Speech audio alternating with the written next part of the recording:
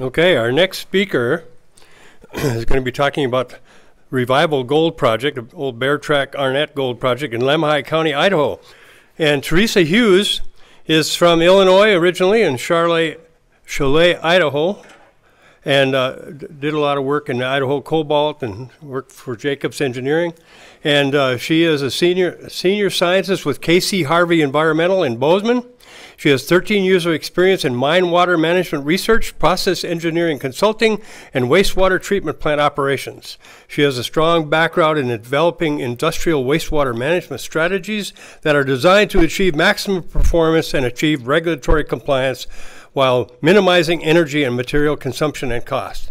Recently, Teresa Hughes has, was responsible for developing and implementing an environmental, social, and governance compliance program and a stakeholder engagement program for the Idaho mining project currently in construction. Welcome, Teresa Hughes.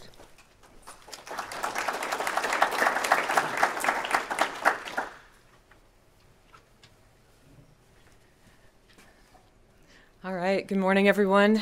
Um, I'm really happy to be here. I appreciate everyone having interest in this talk. This is my first time attending uh, this conference, so thank you very much to the organizers for uh, allowing me the opportunity to present. Um, I look forward to attending in many, many years to come. Um, so yes, I'll be uh, talking about the Beartrack Arnett Gold Project, uh, building on a positive gold mining legacy. Uh, so just briefly, I'm going to touch on an introduction to the Beartrack Arnett Gold Project, um, give a few examples of how the uh, at the site there have been some uh, really strong uh, examples of restoration of land and water resources to productive use, and finally going a little bit more broadly into um, how the mining industry in general is aligned with global sustainable development goals all of which uh, come around to this concept of a positive legacy. So, um, so many of you are probably familiar with the Beartrack mine. Um, just for location here, uh, the project is located in Lemhi County, which is in East Idaho. Um, on the image of the county there, you can see a red rectangle, and then I've zoomed in on that area in the red rectangle, that's the general project area. You can see that figure's oriented north. You can see on the east side, um, there's obviously some extensive development. That is the Beartrack mine site, which I'll be describing to you in a minute.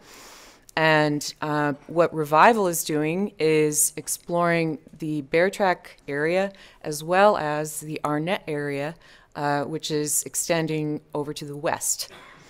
Um, this area, this site is approximately 11, 12 air miles west of the town of Salmon, Idaho. So, back a second. In that small red red rectangle, I'm not sure if you can make that out, but there's there's one town named, um, and that is all all on the Salmon Challis National Forest, by the way. There's one town named, and it's the town of Leesburg, and Leesburg was established in around the 1860s. Um, this was one of the first mining camps to be established in Idaho, and it thrived from the 60, 1860s until around the turn of the century. Um, it was primarily uh, placer and lode mining was conducted uh, during that period of mining. Then uh, most of the town emptied out, as I said, around 1900. Um, the buildings still remain. It's now on the, the register as a historic site.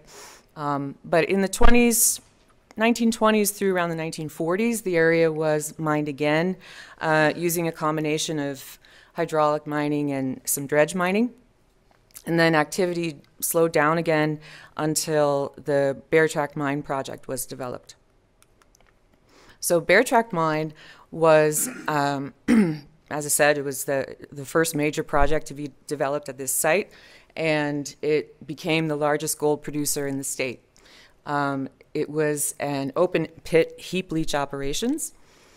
Um, there were three pits uh, mined in total, and uh, just a little more history there. Um, so I mentioned the town of Leesburg. we have three pits, the North Pit, the South Pit, and the Mason-Dixon Pit.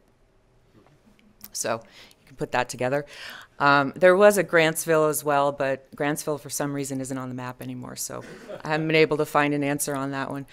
Um, so it, over the operating life at Beartrack Mine, approximately, well, just over 600,000 ounces were produced, and that was during active mining from 1994 to 2000.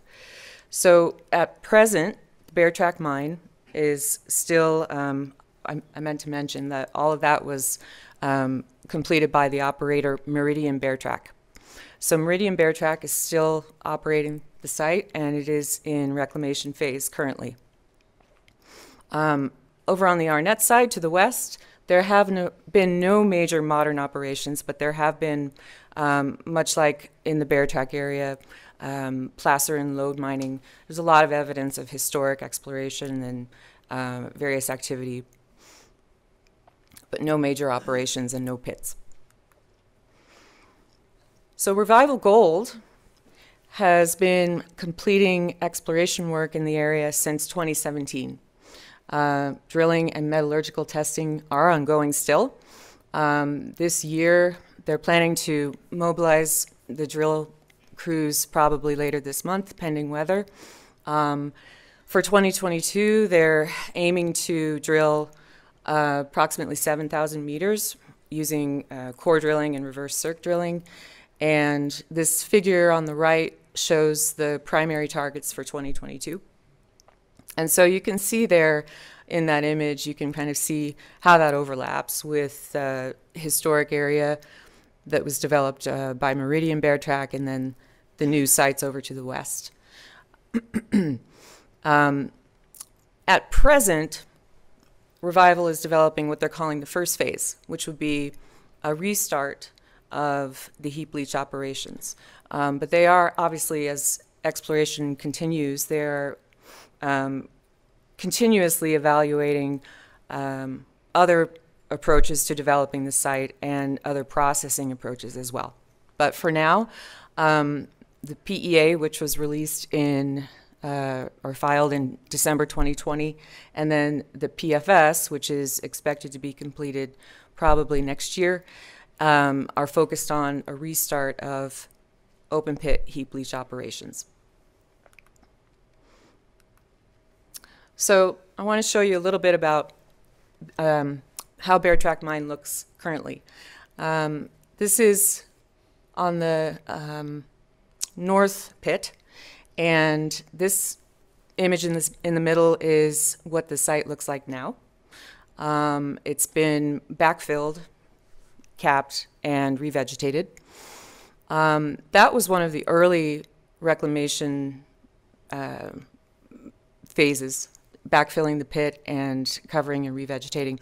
Um, in 2006, Meridian Beartrack was awarded the Hard Rock Mineral Environmental Award from BLM for their reclamation success. So fairly early, really, in their reclamation efforts, they they had already proven out that they accomplished a lot of their reclamation plan and they were doing very well.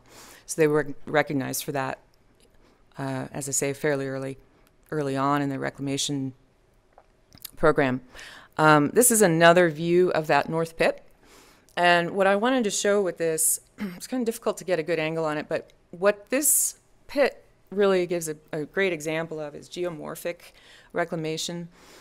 Um, I'm not even sure they called it geomorphic reclamation in the plan. I think it might have just been that the people who were doing the backfilling and the recontouring knew what they were doing. Um, and it has worked very well.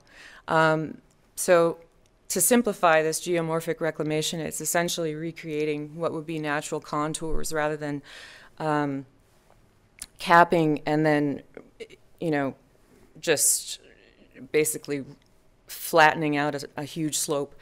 And the problem with these long extended slopes with no breaks or changes to aspect or anything like that is that you get soil erosion, it's more difficult to establish vegetation, um, and it isn't natural. So microclimates don't form, uh, habitats, little pockets for uh, habitats don't form. It's just not a natural um, setting for revegetation and um, the basically the the um, restoration of all the other functions that you want your land surface to have.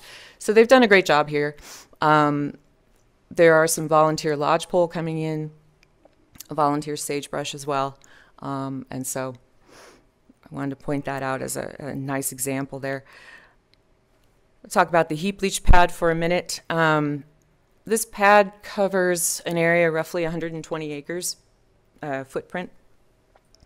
Approximately 25 million tons of crushed ore residue were placed on the pad. I think at its peak, it's about 175 feet high. Um, the pad has been fully capped and covered. It has a two foot soil cover, a two foot, two foot thick soil cover on both the top deck and side slopes. It's about a three to one slope. Um, some areas vary, but it's average three to one slope around. And um, there's these are two angles on it. The first, the larger picture is was taken when the cover was still being completed, as you can see. Uh, you can see that geomembrane is that black on the that'd be the south corner, um, and then picture from last year, um, looking back across the heap leach pad from from the high point you can see that the, the cover is complete and there's been quite a lot of uh, vegetation has, has taken hold. They're still in the process of revegetating. Um, they're discussing reseeding as was expected. Um, but overall, the, the surface is covered with, with uh, a good grass, you know, a good layer of grass, but it's, they're looking to improve it a little bit. But the cover is working. Um, they, they are still collecting um, drain down. There are seven cells in, in that uh, leach pad, and they're collecting drain down, which does contain cyanide and other metals. Um, they're collecting that in a lined ditch at the toe, and it reports to the water treatment plant. And so all these facilities that you see in the larger picture, they're actually still intact and still operational, and Meridian uses those to um, primarily for water treatment. Um, that's really their their major um, outstanding reclamation obligation right now is is the ongoing management of mine water, and so that water is commingled with some other mine water sources that are being managed at the site and discharged under an MPDES permit.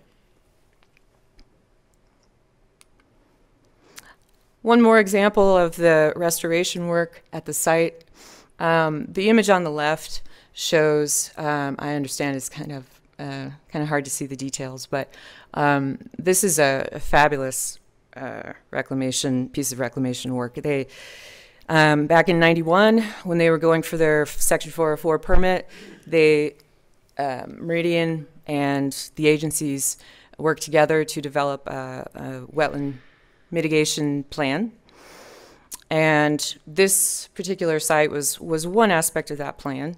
Um, so the plan included constructed wetlands and enhanced wetlands. And um, this is one of the constructed wetland sites.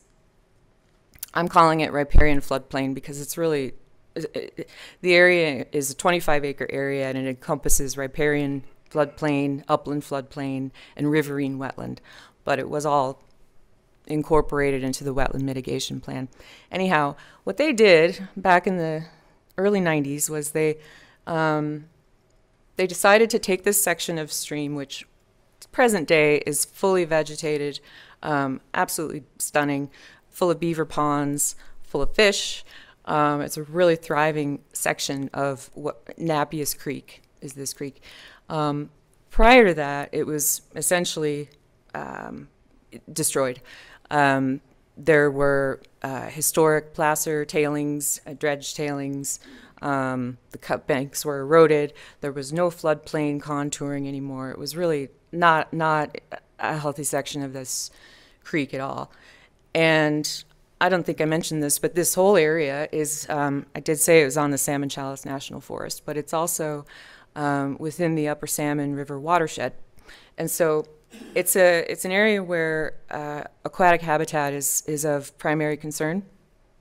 And now today, this is actually a designated critical habitat for bull trout, but it wasn't then. Um, but they still were very proactive in um, in the restoration. So they removed about a mile along a mile section of the creek. They removed um, all of the tailings. Uh, they recontoured and uh, revegetated with broadcast seeding and planting in plugs all the way along, and it's it's thriving. And so it's just a great example of. Uh, that, I mean, we hear about that now, but it's nice to think that you know, nice to see examples of mining companies who even before it was maybe, um, you know, before it was understood by the general public that, you know, cleanup is part of the process, mining companies were doing this. And this has had a wonderful impact on the water quality in this, in this particular creek. So at KC Harvey, we focus a lot of our work on reclamation science. Um, this is really what our company was founded on. Um, we have a lot of different specialists in our uh, in our organization. As Patrick said, I'm a process engineer. I come from an industrial wastewater treatment background. Um, we have soil scientists, we have geochemists, we have ecologists. We have a lot of different um, different backgrounds and, and different services that we can support mining clients with. Um, we also do quite a bit of permitting and compliance support, more and more, I think, all the time, um, for mining, uh, oil and gas, power. Um, so you know we're, you know we're very much involved in reclamation science. We have a strong field crew component. We have a lot of seasonal work for various clients, um, going out, implementing, monitoring, reporting, etc. Um, but if anyone is uh, looking for any support on reclamation needs or any water treatment um, issues where you might want a, a, fresh set of eyes, we'd be happy to help. So, a little more about the positive legacy. Um, we say, you know, the the mining industry, and I don't think anyone in this room is going to be surprised by this, but you know, the mining industry is um, very tightly regulated in this country by federal law, state level law, local legislation, et cetera. Um, I've got some of the agencies represented here who uh, are responsible for probably the thankless task of enforcing a lot of those laws. Um, but uh, you know, we, the U.S. really is exceptional in the, on the level of regulation. Um, just as a side, I, I did my uh, university level studies and my research, um, my postgrad research in Ireland. And so I did, you know, I was over there for about 15 years. I did get a good flavor um, for how things how things function in countries that maybe don't have a Superfund or CERCLA program or don't have the same uh, just state capacity to enforce uh, environmental laws. And you know, it made me appreciate how well we really do get things. We do keep things very, very much in order in this country, and it's a good thing. It's a good thing. Um, but beyond the regulatory requirements now, it's it's absolutely a given that the mining industry um, will need to go above and beyond, and that really that's where we come into the environmental, social, and governance, or I say corporate governance principles. Um, the list on the right is a short list of the uh, various reporting standards that um, miners can follow with their operations. Some of them are more specific. For instance, there's some for gold, um, cyanide management, etc. Some of them are more general. A lot of you are probably familiar with GRI and ICMM and SASB. They're kind of more widely widely used across the industry. Um, but along with the regulatory requirements we have, we have this list in the middle, business ethics, health and safety, environmental protection, supply chain requirements, and transparency and accountability, um, which is a, a quite a lot to be not only striving to improve year on year, which is really the expectation of stakeholders, but also to report this um, publicly and voluntarily. And mining industry is doing this. Um, and we've, you know, we've seen some great examples this week already of, you know, how operators are able to say, look, we've got this track record for the last 30 years, we're continually improving, or, you know, the, these sorts of things everyone appreciates them, but this ESG has kind of brought this information to a point where we're reporting now to a lot of stakeholders, including lenders, including the public. Um, so, having said that, Revival Gold is fully aware of these expectations and um, supports the ESG principles with their own work. Um, right now, they're in development or they're in exploration stage, so they don't have a full operating site to report on, but they do have um, a value statement, a mission statement. They're very committed to maintaining environmental quality, but also social connections with the town of Salmon. Um, on the ground, what does this look like? Well, every year they've been holding open house meetings, um, offering uh, public engagement. Um, there's a lot of, in our local paper, I live in Challis, uh, this project is in Salmon. In our local papers, we see a lot of articles every month almost about what's going on at the project. The project office, the main project office, is located in Salmon. The general manager, Pete Blakely, um, is based in Salmon. VP of Engineering and Development is based in Boise. So I have good, you know, presence in Idaho of management. Um, and then they're constantly making an effort and striving to procure and uh, procure supplies and hire local crews for work. Um, more on the environmental side, the uh, as I said, they're they're firm advocates of environmental compliance. Right now, um, you know, the main responsibilities they've had have been reclaiming drill sites, um, drill pads, spur roads, um, that kind of thing. They're working under construction general permit for that, um, along with uh, permission from the Forest Service. And year on year, they get um, excellent reviews back from the local Forest Service team, thanking them for the commitment to concurrent reclamation, et cetera.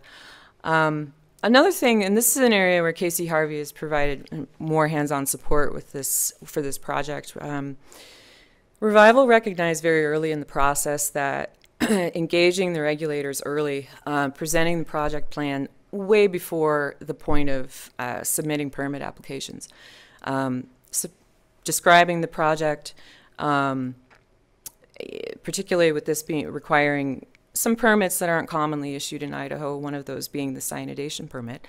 Um, ongoing engagement with the regulators um, to allow for that regulatory input during the planning stages. That's something that Revival wanted to do from the beginning. KC Harvey's been quite active in uh, facilitating that, um, both with the forest team and then with state level regulators. And then Revival has also started quite early on their environmental baseline work, gearing up towards the eventual NEPA process and EIS. Um, so thank you very much. I think I'm coming down to my time. Um, as I said, Revival is planning to issue their mineral resource estimate update this later this month, and a PFS is on the horizon. For more information, you can contact Pete or Hugh.